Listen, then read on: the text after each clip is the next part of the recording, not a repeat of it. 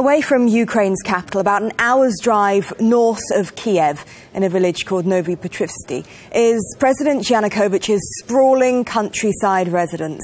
The latest satellite picture shows the estate still under construction, but it's believed these CCTV pictures from Friday show him leaving the vast compound under the cover of darkness.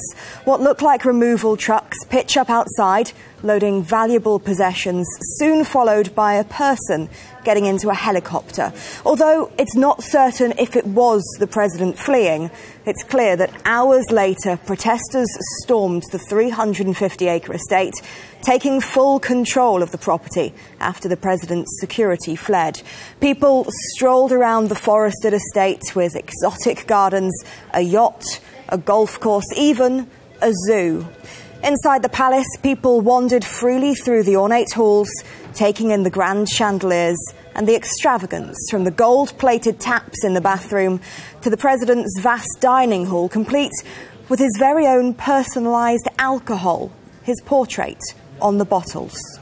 Few people, apart from Yanukovych's close friends and family, are said to have visited the secret palace.